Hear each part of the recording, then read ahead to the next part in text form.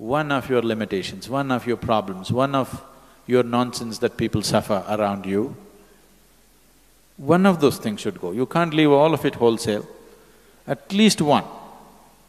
Shall we?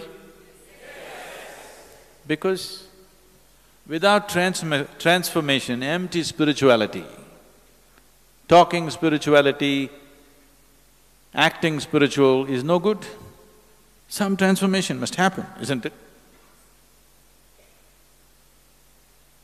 Please make that happen so that uh, when you live, people will enjoy living with you.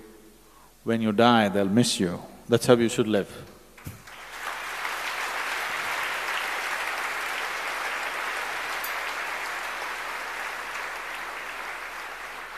On a certain day,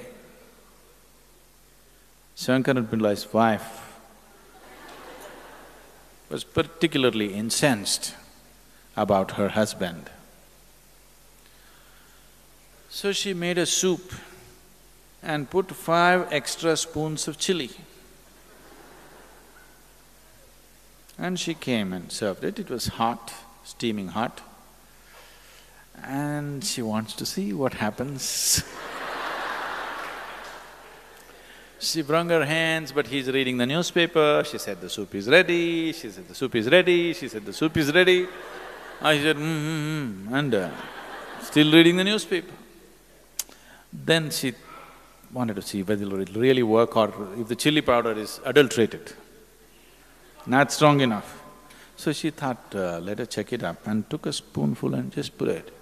It just exploded in her mouth. Tears welled up. Tears started flowing. Just at that moment, Shankaran Pillai kept his newspaper down and came. He looked at her and said, why are you crying? She said, you know, just last year my mother died. and how much she loved this soup. When I just saw this soup bowl, it reminded me of my mother and tears came. Oh, is that so? Don't worry, it's, you know, what to do. We all lose our mothers and fathers sometime. It's all right. And uh, Shankaran Pillai went back to his newspaper with the soup and reading the newspaper, he put it in his mouth, it went boom like a dynamite. Because this was a full spoonful Tears came into his eyes.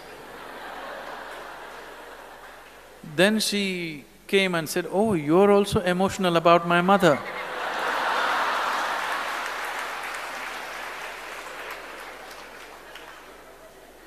He said, no, no, I am not crying because your mother died.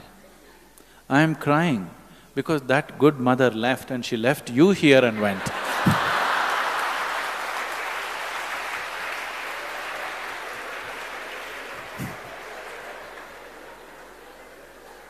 this is not the way to live.